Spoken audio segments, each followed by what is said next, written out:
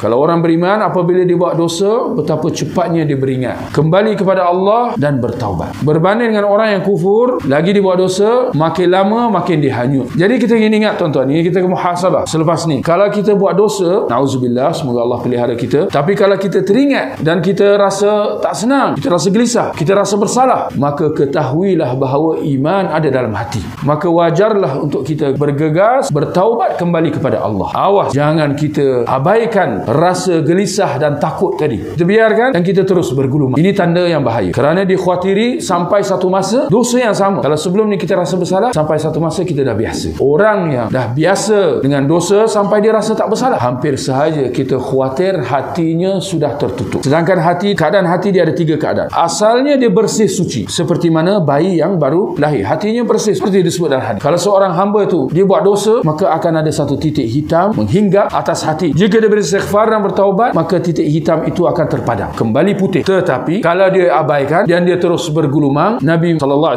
mengatakan titik hitam tu akan bertambah dan bertambah. Sampai satu masa, hati itu sudah gelap. Daripada putih jadi gelap. Orangnya mungkin kulitnya putih. Tapi hatinya gelap. Gara-gara dosa-dosa yang dia bergelumang di atasnya. Dan kita boleh bayangkan tuan-tuan. Nauzubillah. Bagaimana kalau keadaan hati seorang tu kalau sudah gelap? Bagaimana agaknya cahaya iman akan masuk ke dalam hati. Ketika mana hatinya sudah gelap macam cermin gelap lah kat kereta kan. Lagi cermin tu gelap, lagi cahaya matahari susah nak masuk. Jadi demikian keadaan hati. Asalnya putih tetapi jika dia dinodai dosa dan maksiat maka dia akan ada tumpukan-tumpukan hitam. Yang mana kalau orang yang terus bergelumang tidak sedar diri dia terus lalai kesudahannya hati itu akan jadi gelap. Dan itu bukan kemuncaknya lagi. Jika orangnya terus lagi bergelumang peringkat akhirnya hatinya akan terkunci. Allah sebut dalam Quran am ala qulubin aqfaluha. Apakah hati mereka sudah terkunci? Ini sampai dah tak boleh nak nak buat apa lagi dah. Ini keadaan sebahagian manusia. Kita kena ingat. Jadi kita kena muhasabah. Keadaan manusia yang orang kata apa? Kalau bahasa mudah dia tak makan saman. Tegur tak boleh tak berubah. Kita khawatir hampir sahaja orangnya hatinya sudah terkunci. Dia khawatiri itulah keadaan dia sampai ke akhir hayat dia. Sebab hati sudah terkunci. Tidak lagi boleh dia, dia bersihkan. Jadi kita kena ingat. Muhasabah diri kita masing-masing. Adakah kita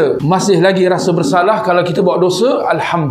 Sebab kita kullu bani Adam khata. Tidak ada dalam kalangan manusia ni kecuali dia buat salah. Pasti ada maksiat. Beza dia sikit atau banyak. Tapi kalau kita rasa bersalah, Alhamdulillah. Itu tanda iman. Maka kalau kita segera kembali kepada Allah bertaubat, dosa itu akan terhapus dan hati akan kembali putih seperti sedia kala. Tapi awas, kalau kita biarkan-biarkan hati kita akan jadi gelap seperti yang kita sebut tadi dan kemuncaknya terkunci.